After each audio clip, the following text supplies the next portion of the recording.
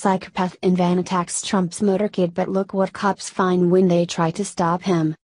It's been almost a full year since Donald Trump was elected as our president and the lunatic left collectively lost their minds. That rage of disappointment inside them has been festering ever since, as they cannot accept the defeat and move on with life. In fact, the hate and anger have consumed many of them to such an extent that it's driving them to extremes to seek vengeance for their loss, which they literally feel justified in no matter how horrific. What just happened to Trump's motorcade is one of those cases that even left officers stunned after what they found when they tried to intervene on his twisted plan. Earlier this week, Trump's motorcade was returning to Trump's Mar-a-Lago resort after he had gone golfing with Tiger Woods. While the motorcade was on their way back, they experienced a bit of road rage from a man driving a red van. The driver tried to cut in between vehicles in the motorcade, but that wasn't happening. He was stopped and arrested by local police. The driver, as bitter as he was, then made numerous obscene gestures and screamed multiple expletives like a crazy person, despite being the driver to intentionally cut off a presidential motorcade. This should be alarming to everyone, but the mainstream media is ignoring the incident altogether simply because they justify such a reaction because it's toward Trump. Somehow, it's become acceptable for grown adults to act this way in public and toward our president. This person doesn't belong behind the wheel, he should be institutionalized for being so out of control with his emotions that he's willing to put America's leader's life in danger and even risk his own in the process of his apparent martyrdom for his cause. Barack Obama was president for eight years and people didn't flinch or bat an eye. Sure, people criticized him, but most Republicans and critics of Obama carried on with their life because not much changed for them on a daily basis.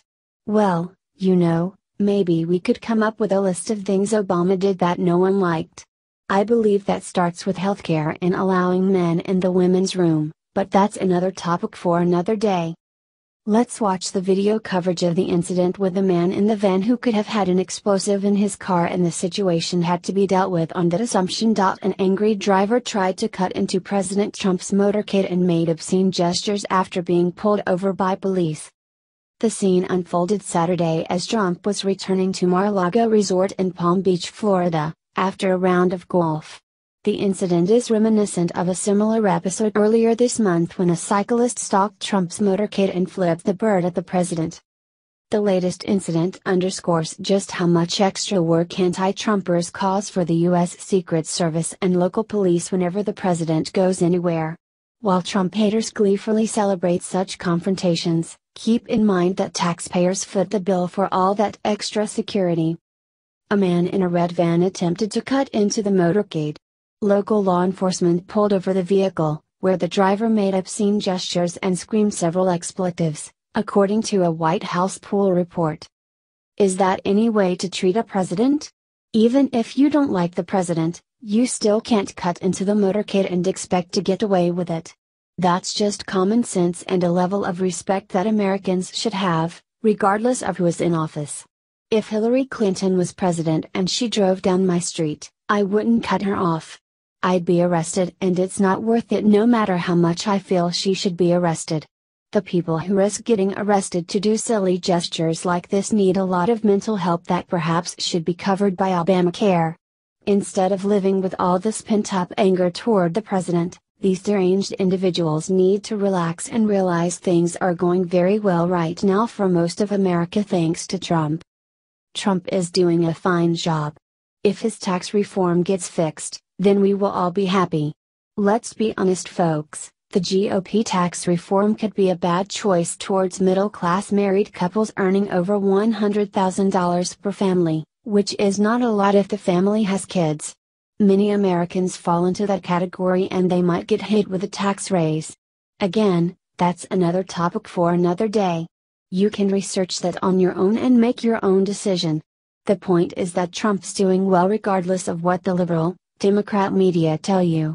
They're so angry they can't even enjoy the fruits of the American labor.